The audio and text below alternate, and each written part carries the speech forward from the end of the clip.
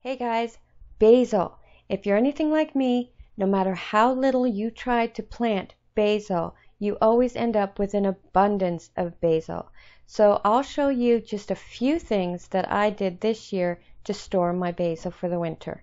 I dried some, I froze some, I made butter, I made olive oil, and I made salt out of all this basil.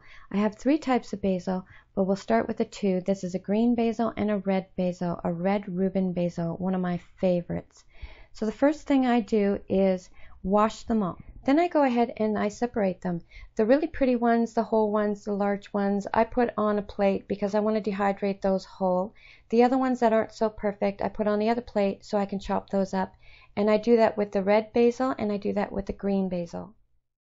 After that I give it a good pat down. Basil does tend to hold a lot of water so I try to get as much out as I can. When I put it on the dehydrating trays I put it in a single layer. If you stack this up it's going to take a lot longer to dehydrate and they don't come out quite as nice. I don't use my inserts. I try to keep as much airflow as I possibly can when I put these on the tray. This is called spicy basil. This is incredibly, incredibly easy to grow. If you've never grown spicy basil, I would suggest you give it a go because it is such a beautiful, beautiful plant. So the first thing I do with that is give it a good wash. I dry it off really well. Now these leaves are incredibly, incredibly small. So what I do is usually pick through what I see at the beginning. If there's any large stems in there, I just take those off.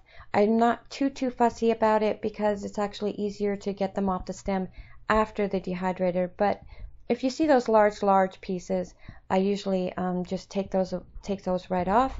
I put it in the dehydrator. I just pile it up. They're so delicate.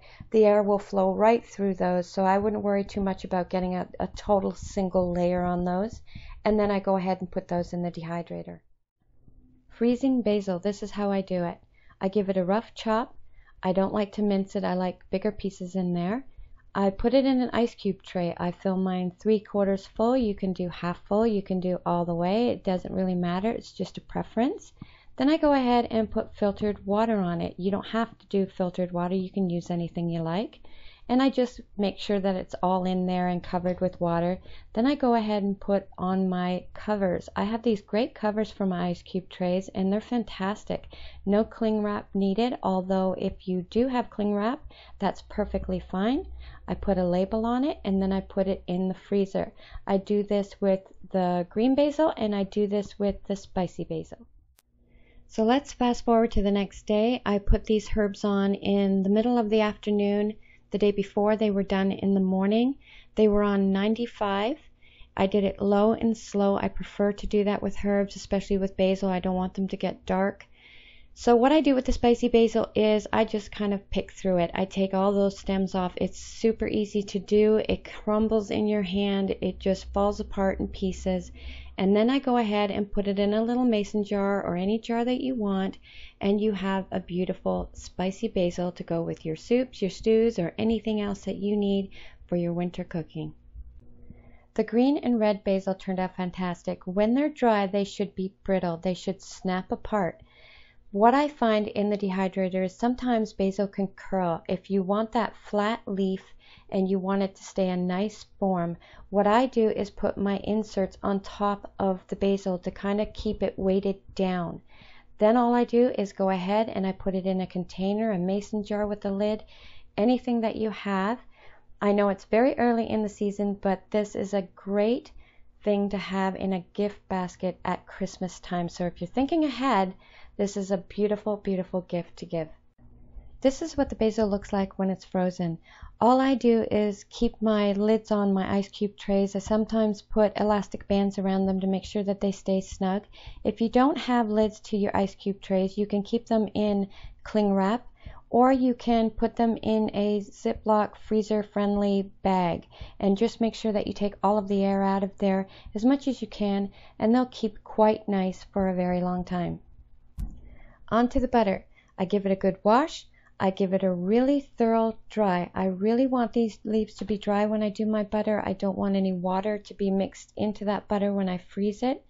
Now you can make basil butter any way that you like. You can put garlic in there, cheese in there, salt, pepper if it, it's not salted butter already. There's so many things that you can do, but I do prefer to keep my basil butter very, very simple and add what I need to the recipe later. So I give it a really good chop. I mix it into the butter. I always use salted butter. I put it into these really handy containers. I get these at the dollar store. They're perfect size for our household. I put a lid on it. I label it and I put it in the freezer and we have a beautiful basil butter to go along with all of our meats and recipes for the rest of the winter. Basil infused extra virgin olive oil. What a beautiful oil to have.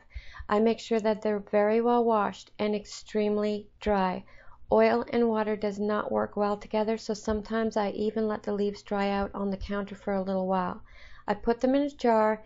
Any jar will do that has a cap on it and then I put the extra virgin olive oil on top of that. Now what you're going to see is that the leaves will come to the top, but that's okay.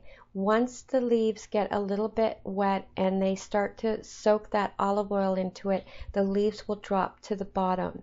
This should be at room temperature for about a week and a half to two weeks for full flavor. It's a beautiful gift giving idea and it's so nice to have. You can put peppercorns in there, you can add whatever else you like in there. It's just a really beautiful oil. Basil salt, super easy to do. Wash and dry your basil really well. You don't want any water hitting that salt. I give it a really fine chop.